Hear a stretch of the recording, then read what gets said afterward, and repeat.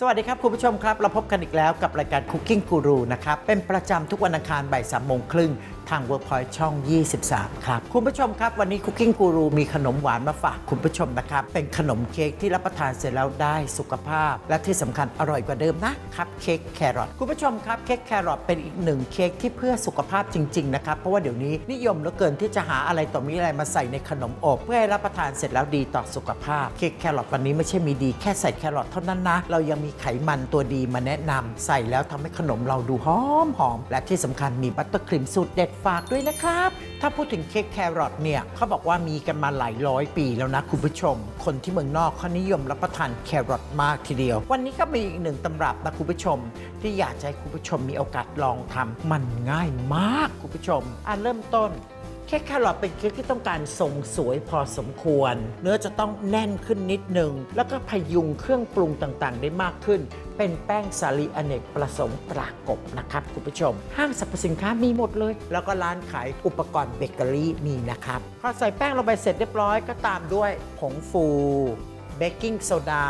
เกลือป่นเสริมไอโอดีน เอกลักษณ์ของเค้กชนิดนี้จะต้องมีกลิ่นหอม เราใส่อบเชยลงไปนิดหนึ่ง ความหวาน ก็ใส่ลงไป แล้วก็ใส่ไม่ค่อยมากเท่าไหร่นัก ใช้เป็นน้ำตาลทรายแดงนะคุณผู้ชม พอใส่น้ำตาลทรายแดงเสร็จคุณผู้ชมเราก็จะเคล้าพวกของแห้งเนี่ยให้เข้ากันซะก่อนวิธีนี้แป้งจะไม่จับตัวเป็นลูกๆนะคุณผู้ชมนะ มันจะเข้ากันง่ายง่ายเอาละต่อไป เราจะใส่แครอทนี่คุณผู้ชม จากการปอกเปลือกขูดให้เป็นเส้นเล็กๆนะคุณผู้ชมนะ ใช้ที่ใส่มะละกอตำส้มตำของเรานั่นแหละคุณผู้ชม เสร็จแล้วไข่ไก่ ก็ใช้ไข่ไก่แช่เย็นๆนี่แหละเห็นไหมคุณผู้ชม ทุกอย่างก็เทลงไปหมดเลย ตอนนี้นี่ควรจะตั้งเตาอบแล้วนะคุณผู้ชม อุณหภูมิ 350 องศาฟาเรนไฮต์เตรียมไว้ก่อนนะครับ อยากได้กลิ่นหอมนิด ๆ วันนี้เลือกเป็นกลิ่นมะม่วงนะคุณผู้ชมครับ มะม่วง Fruit Based Preparation ตรา Nature Taste คุณผู้ชม ใส่ไปหน่อยหนึ่งมันจะทำให้แครอทเค้กของเราตำรับนี้หอมขึ้นนะคุณผู้ชม คุณผู้ชมจะเห็นว่าที่ใส่ลงไปทั้งหมดตรงนี้ยังไม่ได้ใส่ไขมันเลยใช่ไหมคุณผู้ชมตำรับที่ผ่านมาเราก็จะเลือกใช้เป็นน้ำมัน แต่ถ้าหากวันนี้คุณผู้ชมอยากให้เค้กของคุณผู้ชมมีกลิ่นหอมแบบเนย ซึ่งโดยปกติเราจะไม่ใส่เนยเพราะเนยโดยทั่วไปจะมีน้ำผสมอยู่เยอะ จะทำให้เค้กแครอทยิ่งแฉะเราจึงต้องเลือกใช้เนยที่เป็นไขมัน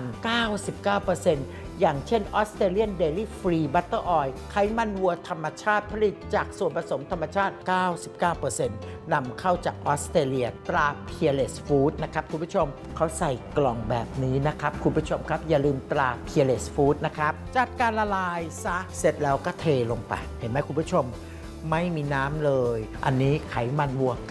99%นะครับ เสร็จแล้วก็คนผสมให้เข้ากัน ดูเหมือนจะยุ่งยากนะคุณผู้ชมนะอุ้ยหอมมาก เพราะว่าไม่มีส่วนผสมของน้ำจากไขมัน เห็นไหมคุณผู้ชมดูลักษณะของส่วนผสมที่ได้เสร็จดีมากคุณผู้ชม เอาละครับ เราจะตักใส่พิมพ์เลยนะจัดการตักส่วนผสมของเค้กของเราใส่ลงไปในพิมพ์ พิมพ์ซิลิโคนคุณผู้ชม ก็ไม่ต้องทาเนยอีกต่างหากด้วยนะ เพราะว่าในนี้มีส่วนผสมของไขมัน ตั้ง 99%แล้วก็เป็นพิมพ์ซิลิโคนด้วยก็เลยไม่ต้องมานั่งกังวลอะไรนะคุณผู้ชมนะ ใส่ลงไปประมาณเศษ3ส่วน4พิมพ์นะเดี๋ยวเราก็ไปจัดการอบซะ ขนมสุกออกมานะคุณผู้ชมก็จะได้เต็มหลุมนี้เลยอุ้ยหอมมากเลยคุณผู้ชมเนี่ยได้วิตามินเยอะนะ เพราะว่าเนี่ยเรามีส่วนผสมของแครอทอยู่ในนี้ เด็กๆ รับประทานเสร็จแล้วก็จะได้วิตามิน A มากมายก่ายกอง เด็กที่ไม่อยากกินผักก็ซ่อนอยู่ในขนมนี่แหละ บางคนก็เอา chocolate chip มาซุกๆเข้าไป แบบทำให้มันดูน่ากินขึ้นนะคุณผู้ชมนะ เสร็จแล้วก็นำเข้าเตาอบนะครับคุณผู้ชมครับ อุณหภูมิ 350 องศาฟาเรนไฮต์ 25 นาที ไม่เกินครึ่งชั่วโมงสุกแน่นอน วันนี้อยากบอกคุณผู้ชมว่าเรามีตำรับบัตเตอร์ครีมที่อร่อยอร่อยมาฝากคุณผู้ชมนะครับ เริ่มต้นด้วยการเตรียม Australian Dairy Free Butter Oilไขมันวัวธรรมชาติผลิตจากส่วนผสมธรรมชาติ 99%นำเข้าจากออสเตรเลียตรา Peerless Food นะครับ ใส่ลงไปซะก่อนให้คุณผู้ชมดู ถ้าเนยดีๆเนี่ยสำหรับความรู้สึกของอาจารย์ยิ่งศักดิ์นะ เราจะใช้เนยที่มีไขมันจริง ๆ ส่วนนม เติมเอาเมื่อไหร่ก็ได้จริงไหมคุณผู้ชม อย่างวันนี้ก็ไม่ได้ใส่นมธรรมดาใส่เป็นโยเกิร์ตรสธรรมชาติ เสร็จแล้วก็จัดการตีจนกระทั่งส่วนผสมของเนยกับโยเกิร์ตขึ้นฟูซะก่อนนะครับ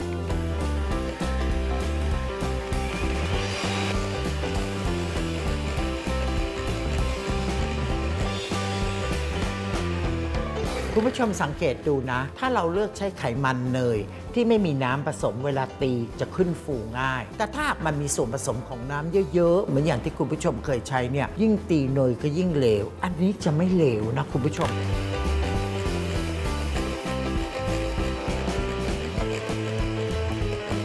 คุณผู้ชมเห็นไหมตีแป๊บเดียวจริง ๆ คุณผู้ชม ส่วนผสมของเนย ขึ้นเปลี่ยนเป็นสีขาว แล้วก็เหลืองอ่อนๆแล้วเห็นไหมคุณผู้ชมครับ เอาละเราจะใส่น้ำตาลไอซิ่งลงไป น้ำตาลไอซิ่งต้องร่อนก่อนนะครับคุณผู้ชมครับ